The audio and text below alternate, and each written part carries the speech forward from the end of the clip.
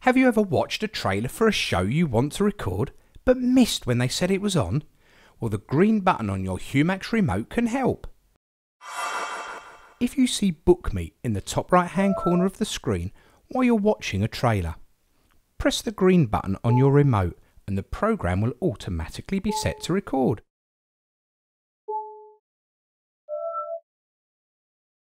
All without you having to remember what time and channel it was on.